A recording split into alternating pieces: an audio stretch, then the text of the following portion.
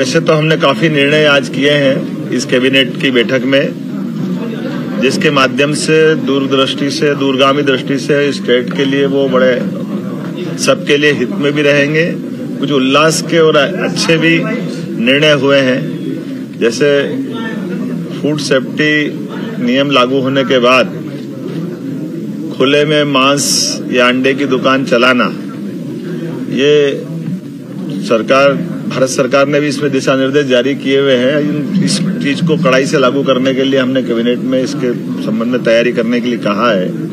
और चूँकि इस दिशा में योग्य प्रकार से जन जागरण भी हो जाए और जिनको ये बिज़नेस करना उनको उसके दायरे भी बता दिए जाए, कैसे करना है, क्या करना है, उनको भी इन सारी बातों के अवेयरनेस के साथ, लेकिन शासन के स्तर पर हमने निर्णय किया है कि ये चीज़ों को लेकर के जनता की सुरक्षा भी ज़रूरी है और जिनको जिनका व्यवसाय करना है या जिनको इसको खाद्य पदार्थ के उपयोग में लेना है तो वो उनकी जान भी जोखिम में नहीं डाले।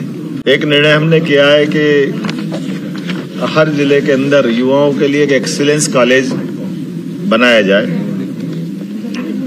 जो सभी प्रकार की नई शिक्षा नीति के माध्यम से सभी कोर्स की वो पढ़ाई वहाँ हो सके।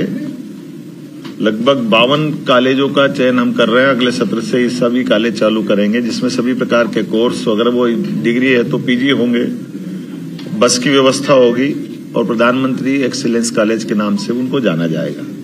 एक निर्णय हमने किया कि ये जो डिग्री, मार्कशीट और ये सब डॉक्यूमेंट्स को अवेयरने के लिए बच्चे परेशान होते हैं, कई बार जाने आने के लिए सारी झंझटें होती है, कई बार नकली लोग बना लेते हैं। तो डीजी लाकर चालू करा रहे हैं। हमारे सभी प्राइवेट यूनिवर्सिटी, सभी कॉलेजों में दस्तावेजीकरण के आधार पर हर एक कोई किसी को चेक भी कर सकेगा और उनका अपना दस्तावेज़ का वो सुरक्षित एक डाटा भी बनेगा। तो सरकारी 16 यूनिवर्सिटी, बावन प्राइवेट यूनिवर्सिटी, सभी में इसको लागू करने के संबंध में आज निर्णय किया एक आदतन अपराधी जो बार बार अपराध करता और छूट जाते हैं। इनके लिए होम डिपार्टमेंट से कहा है तो चार सौ सैंतीस अड़तीस उनचालीस के अंतर्गत सीआरपीसी में इन पे दंडात्मक कार्रवाई करते हुए उनकी अगर जमानत भी होगी तो जमानत निरस्त कराएँ ताकि क्राइम पे कंट्रोल करने की दिशा में लॉ एंड ऑर्डर की दृष्टि से बड़ा महत्व का निर्णय एक प्रदेश में वैसे तो सबको मालूम है, सुप्रीम कोर्ट ने गाइडलाइन दी है ध्वनि विस्तारक यंत्रों को लेकर के। ध्वनि विस्तारक यंत्रों को तो अपनी तय समय सीमा के अंदर और जो उनकी मर्यादा उसमें उनको अपनी उपयोग करना चाहिए। उस नाते से हम कोशिश करेंगे कि ये, लेकिन कुछ कुछ जिलों में अलग अलग स्थिति भी है।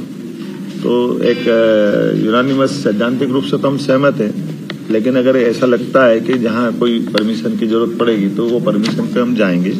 अदरवाइज़ बगैर परमिशन कोई चला, इसको हम पसंद नहीं करेंगे। साइबर तहसील तेंदुपत्ता संग्रहण के लिए तीन हज़ार की प्रति बोरा की जो हमारी सीमा थी, अब उसको चार हज़ार रुपये प्रति बोरा करने के आदेश इसको जारी करने के लिए बता दिया गया एक साइबर तहसील का दायरा भी एक जनवरी 2024 से। कोई भी अपना दस्तावेज़ का पंजीकरण कराता है, अर्थात रजिस्ट्री कराता है तो अलग से नामांतरण कराने के लिए जाए, वो परेशान हो इसके बजाय जैसे रजिस्ट्रार ऑफ़िस में रजिस्ट्री कराएँगे, उसी समय उसकी सारी प्रोसेस नामांतरण की भी हो जाए। तो ये एक सरलीकरण है जिसके माध्यम से एक ऑलरेडी दस्तावेज़ बन रहा है। तो बार बार अब विभागों में नहीं जाना चाहिए इसी अपेक्षा से